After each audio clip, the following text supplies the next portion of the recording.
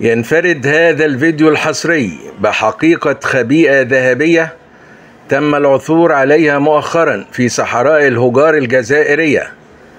ويرجع تاريخ هذه الخبيئة إلى نحو 800 مليون سنة.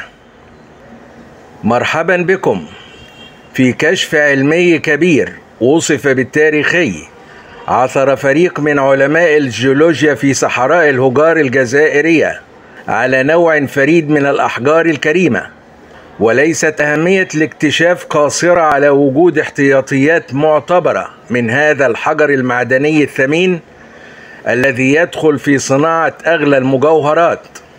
ومن ثم يمكن أن يضيف الكثير من النقد الأجنبي إلى خزينة البنك المركزي وبالتالي دعم الاقتصاد الجزائري ولكن أيضا استدل العلماء من خلال تتبعهم للمكامن الأرضية لهذا الحجر الكريم على كنز ذهبي قديم ونادر يعود إلى نحو 800 مليون سنة خلت.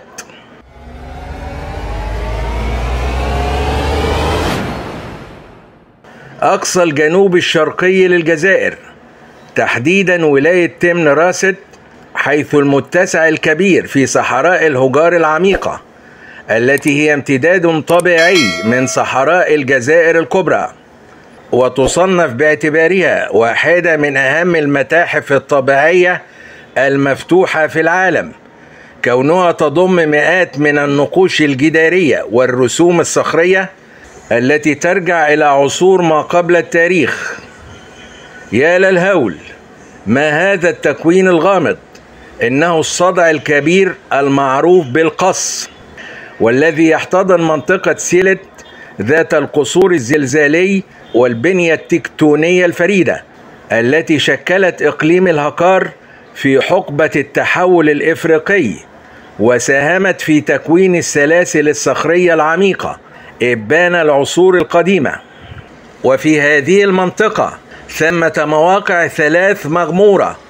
هي أوسف ميلين وسيل ديرار وإدريسي.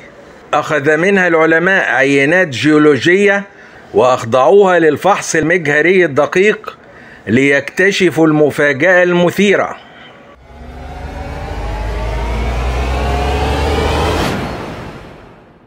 لقد عثر العلماء على نوع نادر من التورمالين يسمى الشرول.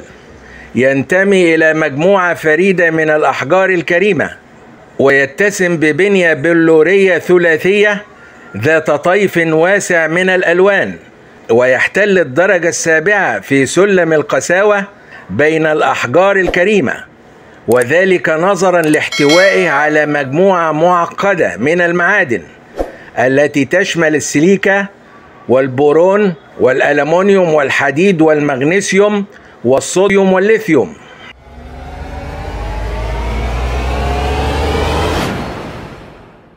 وإلى وقت قريب ظل الجيولوجيون يعتمدون بشكل أساسي على عروق الكوارتز والكبريتيدات والصدوع العميقة باعتبارها مؤشرا لاستكشاف الذهب في مكامنه الطبيعية. إلى أن اعتمد الشرول كمؤشر قوي على وجود الذهب. وذلك لكونه يتشكل في بيئات مؤكسدة ومثالية لترسيب الذهب داخل القشرة الأرضية. لقد تبين أنه بمثابة مقياس للحرارة والزمن حيث لا يدل على المكمن الطبيعي للذهب وكفى بل وأيضا يظهر المراحل الزمنية التي يتشكل فيها المعدن النفيس. وكذلك يساعد في تحديد إذا كانت منطقة ما لا تزال واعدة للتنقيب أم لا.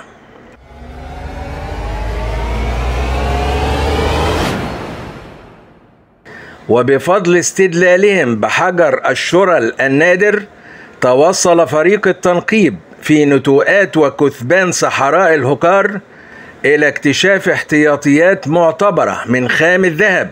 وصفت بكنز الهكار الذهبي وقد بينت الفحوصات الدقيقة التي أجريت على عينات أخذت من المواقع الثلاث التي أشرنا إليها سابقا أن هذا الكنز الذهبي يعود إلى أكثر من 800 مليون سنة.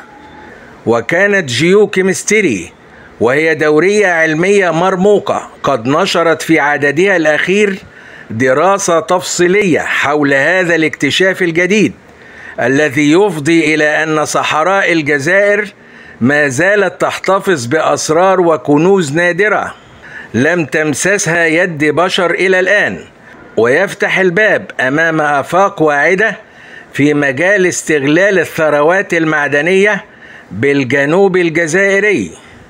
شاركنا برأيك. نرحب بتعليقات مشاهدينا الكرام. ونامل أن تتسم التعليقات بالآراء الجادة التي تحظى منا بكل تقدير واحترام. ولا تنسوا الدعم والاشتراك في القناة.